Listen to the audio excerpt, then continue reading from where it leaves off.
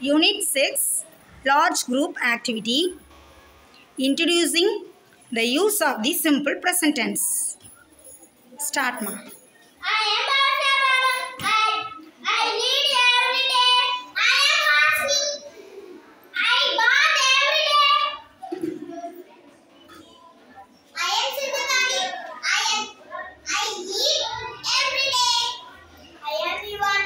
I write every day. It is a butterfly. It flies every day. Good ma. She is Monisa. She plays every day. Superb. He is a Jagadishwaran. He drinks every day. Good. I am a Sari. I am a I skip. I skip every day. Good. We are friends. We learn together. Good. She